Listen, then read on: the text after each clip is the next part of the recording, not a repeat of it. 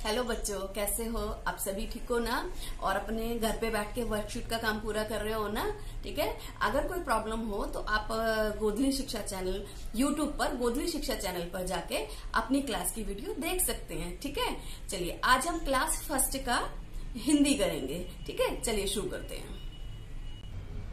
ये देखिए, ये लिखा है मिलान करिए। अब हमें ये पिक्चर दिखाई दी गई है और हमें यहाँ पे ये शब्द लिखे हुए हैं। हम इसको, इसके साथ मैच करेंगे। जैसे ये पहला लिखा है, ठेला।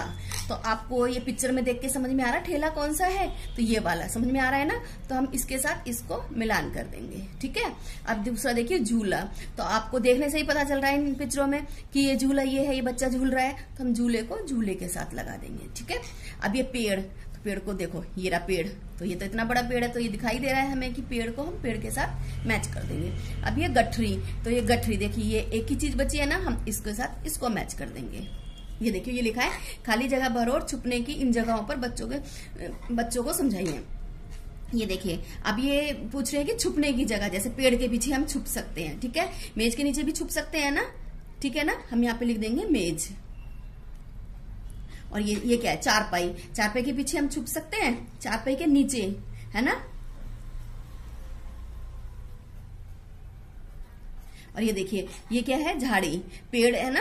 छोटे छोटे छोटे छोटे छोटे पेड़ होते हैं। हम उनके पीछे भी जाके छुप सकते हैं ताकि हमें कोई देखे ना। तो ठीक है? तो यहाँ पे हम लिखेंगे झाड़ी। ठीक है बच्चों? आज हमने हिंदी की वर्कशीट करी है, अब तो आपको ये समझ में आ गई होगी। तो ठीक है, अब आप इसकी हिंदी की वर्कशीट बैठ के घर पे पूरी करना, ठीक है? Okay thank you